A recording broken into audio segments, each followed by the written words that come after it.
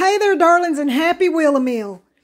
I got a new category called Holiday Must Tries, and this is one for the books. How about some charred corn and onions, stuffing with some chops and yams? Darling, keep on watching and see if you want to add this to your holiday festivities. Thanksgiving just around the corner. Enjoy. Hey everybody, Shift Edie here. Are you babies ready for the next Wheelameal? I certainly am. Let's get to spinning.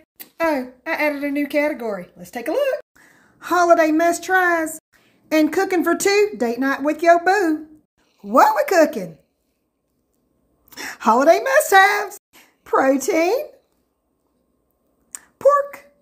Sides or accompaniments. Bread. Darlings, with the holidays fast approaching, there's certain holiday must-haves y'all must try. Everybody always loves their stuffing or their dressing. So right now, I'm fixing to make a corn and onion stuffing. Grab a pan, freeze it up with your butter. Darling, it also said we had to have some pork. So how about some pork chop nuggets or fingers, I hadn't decided yet, with a red wine reduction sauce? Yes, chef. Now, for those of you who watched my video the other day, and I thank you, when I made the charred corn for that Mexican street corn coleslaw, darlings, we're going to do the same. We're going to use some charred corn.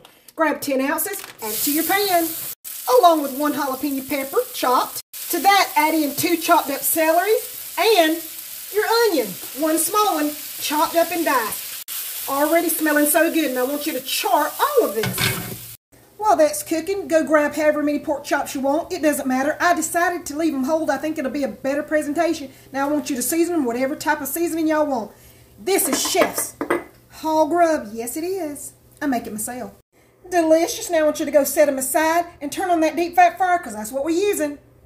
Now that it's beautifully charged, add in about a teaspoon of your liquid smoke. Yes. Y'all about to set that Thanksgiving on fire, darlings. And you're welcome. Y'all, smell this. Good Lord in the morning. Go turn off your corn, preheat your oven to 400, grab one large pan, add in one 14 and a half ounce can of your cream corn, one box of your favorite stovetop stuffing mix, Remember this yumminess? Add that to it. Add in a quarter cup of water. Crack in two large eggs. A teaspoon of your poultry season. A pinch of black pepper. Now go melt a quarter cup of butter. Add it in. Combine it up well. Now go scoop up that buttered pan that we buttered earlier. Smells amazing. Now I want you to spread it out and I want you to take it to the oven for about 20 minutes. If you find yourself in front of your pantry sheet and a bowl with two cups of flour. That's where I want you to be. There's a video one. Go scoop it up. Now, if y'all ain't got your pantry chick by now, y'all need to tell your husbands and wives that Christmas is coming up. It's just around the corner. Click the link in my bio. Go grab out one. Shh, but don't tell them. To this flour, we're going to simply add some salt and black pepper.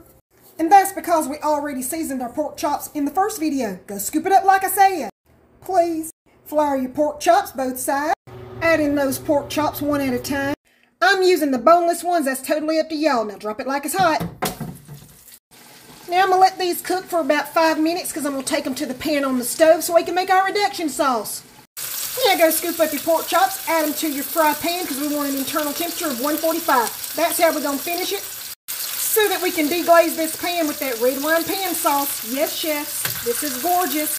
And if y'all don't have a deep fat fryer, you can also use the top of the stove. Don't be bougie. Once it reaches 145, I want you to take them out of the pan. Set them on a plate. See that yummy goodness? We about to deglaze it. Add in three crushed garlic cloves. Let that cook for about a minute until it gets nice and fragrant. Don't burn it. Now grab a quarter cup of your favorite red wine and I want you to deglaze it.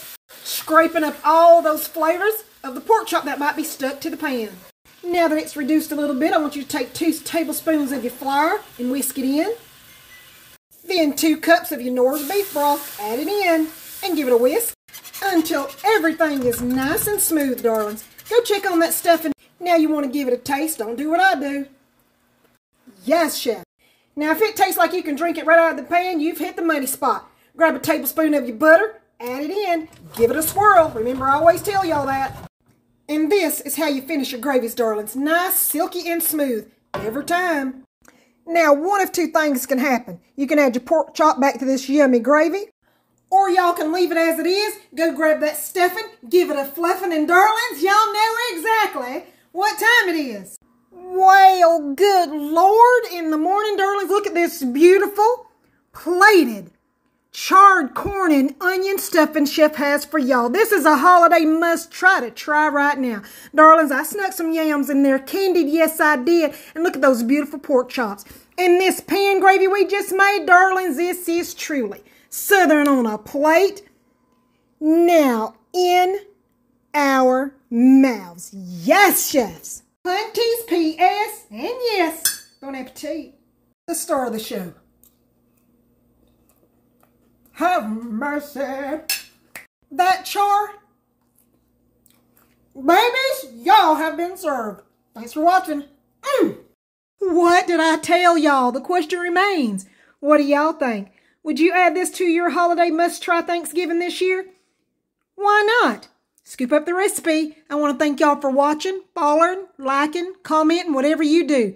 Share it. Darlings, Happy Thanksgiving. It's just around the corner. I'll see y'all at the next Wheel of Meal. Holiday must tries. There's one for the books. I am your sweet Southern Mess here, Chef Dee. Until next time,